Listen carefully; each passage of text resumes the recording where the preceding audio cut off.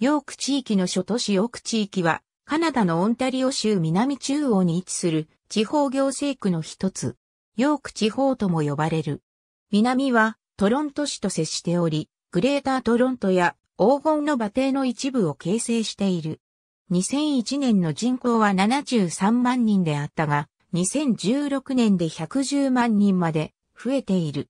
州内の地方行政区では最も高い成長率を見せており、2031年には人口150万人まで増えると予想されている。面積は大阪府とほぼ同じである。一般的に地域の南部には工業からハイテク産業まで幅広い産業が普及しており、北部には広大な湿地と農場が残っている。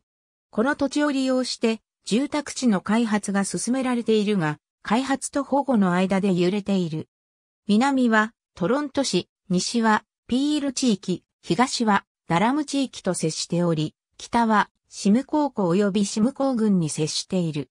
同地域では1996年から2001年、2001年から2006年までの人口増加率がそれぞれ23.1%、22.4%となっており、わずか10年間で30万人に増加している。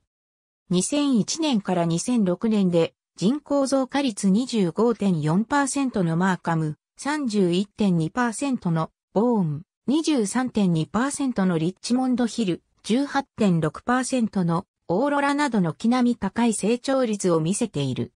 2016 Community Profiles、Community Highlights for、York Regional Municipality、